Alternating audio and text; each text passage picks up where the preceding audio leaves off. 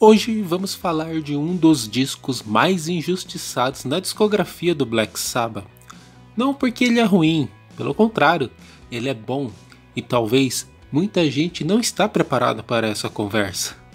O Born Again de 1983 não deve ser lembrado apenas por ter uma capa horrível, que é totalmente verdade, mas também por ser um ótimo disco.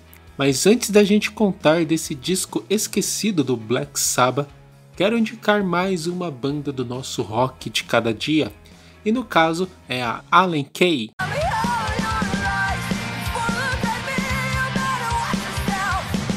Allen Kay é uma banda paulistana muito promissora no cenário musical, formada em 2009, teve maior visibilidade e reconhecimento após ganhar um concurso de Gears Rock promovido pela rádio Kiss FM, consagrando-se campeão em meio a quase 10 mil bandas escritas.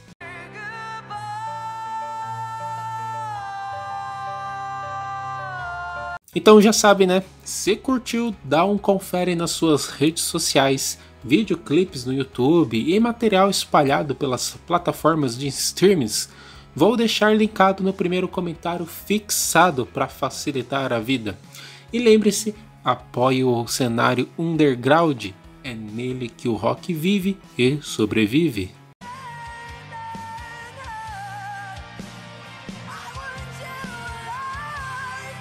Bom, agora sim, chega de enrolar. Prepare o Santo Graal e fique com a locução de Douglas Pinheiro em mais um vídeo do quadro Descomentando.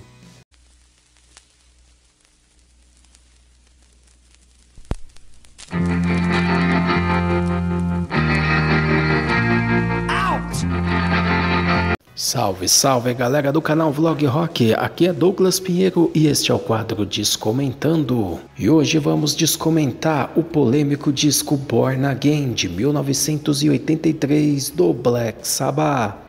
No ano de 1982, após o lançamento do disco ao vivo Live Evil, Ronnie James Dio e Vinny Appice deixam a banda.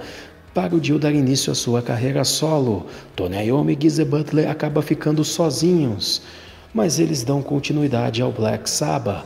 Bill Ward, baterista original da banda, acaba retornando para o seu posto de baterista e o que faltava agora era um vocalista. Foi cogitado para entrar no Black Sabbath David Coverdale, Nick Mod do Samson e até mesmo John Wilton, que foi vocalista do Ira Hip e do Lucifer's Friends. Porém, no final das contas, o escolhido foi Ian Gilla, Sim, o Ian Gilla, que fez parte do Deep Purple e que naquela época estava seguindo carreira solo, porém sua carreira solo estava em hiato, já que o mesmo estava sofrendo com problemas em suas cordas vocais e teve que fazer uma cirurgia para poder corrigir problemas em suas cordas vocais. Sendo assim, Ian Gilla estava fora dos palcos, fora de cena, mas Tony Iommi convidou Ian Gilla para tomar uma cachaça, para tomar um porre. E foi nesse porre que veio o convite, e o Ianguila, bêbado, sob o efeito de álcool, aceitou o convite para ser o novo vocalista do Black Sabbath. Porém, o Ianguila acabou voltando para casa sendo carregado pelo Tony Iommi e no dia seguinte ele não lembrava absolutamente de nada Porém, ele tinha aceitado a vaga para ser o novo vocalista do Black Sabbath e o Ian Gilla resolveu cumprir a sua palavra, mesmo sob o efeito de álcool. E no ano de 1983 é lançado e gravado o álbum Born Again.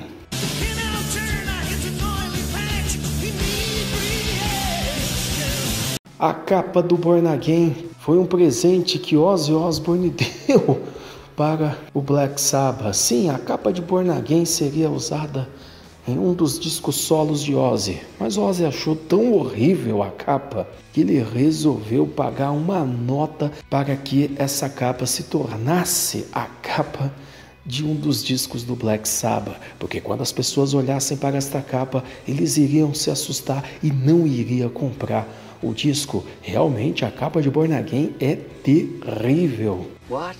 É terrível, é espantoso. O próprio Ian Gilla odeia essa capa. Reza a lenda que quando ele recebeu um lote de discos do Born Again e que ele viu a capa, ele jogou o lote de discos no lixo. Ele achou aquilo horrível. O Born Again, para quem viveu a época em 1983, sem sombra de dúvida acabou achando um dos discos mais fracos do Black Sabbath, principalmente em termos de produção. Se a gente for comparar tudo que o Black Sabbath lançou do The Mob Rules para trás, realmente o Born Again deixa assim a desejar. Porém, foi nesse disco que o Ian Gilla detonou os seus vocais. Isso mesmo, um disco realmente muito bom, onde o Ian Gilla foi metal do início ao fim, principalmente usando e abusando de seus gritos. Já a turnê de Born Again durou de 1983 a 1984.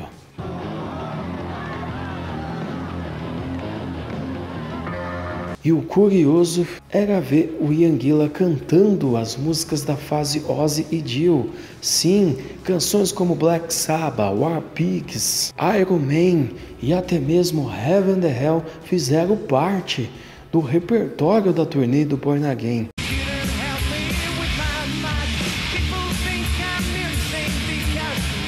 Ponto negativo é que a música de abertura Trashed, que ganhou até videoclipe, não foi executada em nenhum dos shows da turnê de Born Again.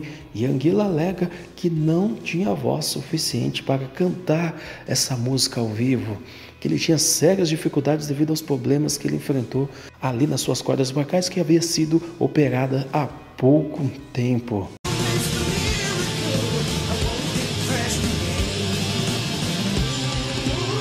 E o disco trouxe outras músicas bem interessantes, como Disturbed Peace.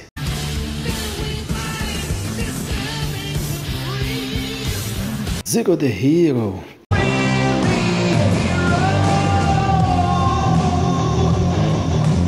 E a faixa título, a balada Born Again, são só alguns dos destaques desse disco.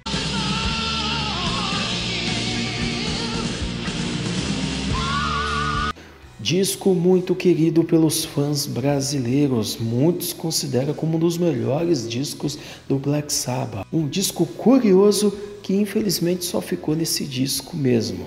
Porque no ano de 1984 o Ian Gillan deixa o Black Sabbath para voltar para o Deep Purple. Sim, ele voltou para o Deep Purple em 1984, reunido ali com a formação clássica do Purple, lançou aquele clássico Perfect Strangers e o Black Sabbath, com a saída do Ian Gillan, teve que encerrar as atividades e no ano de 1985 Tony Iommi daria início à sua carreira solo, que no final das contas o disco teve que ser lançado sob o nome Black Sabbath, que foi o álbum Seven Star de 1986. Fica aqui a nossa homenagem a esse grande disco Born Again polêmico que muita gente criticou, que muita gente odiou, porém foi um disco que envelheceu bem.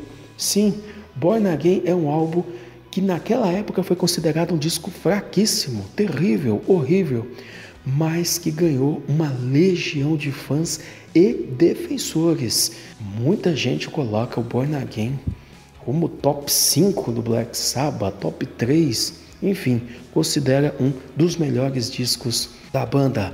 Vale a pena escutar os bootlegs que foram realizados né, no decorrer aí dos anos de 83 e 84 tem bootlegs bem interessantes. Há uma versão demo do álbum que tem uma música inédita chamada The Fallen, que é uma música bem bacana.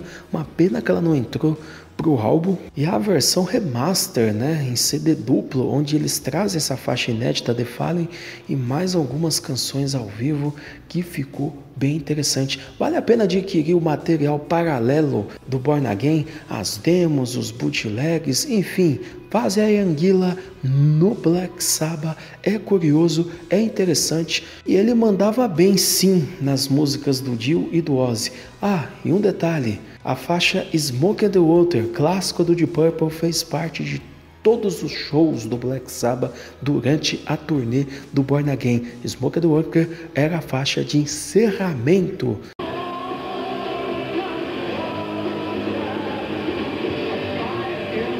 vocês, indica para nós aqui nos comentários qual o próximo disco que devemos descomentar aqui no quadro Descomentando do canal Vlog Rock. Aqui é Douglas Pinheiro se despedindo e pedindo para vocês darem um like, comentar o vídeo, dar, um, aquele joinha, se inscrever no canal, é claro, e principalmente compartilhe com os seus amigos, compartilhe nos grupos de WhatsApp para termos conteúdo sempre às quintas-feiras dentro do canal Vlog Rock.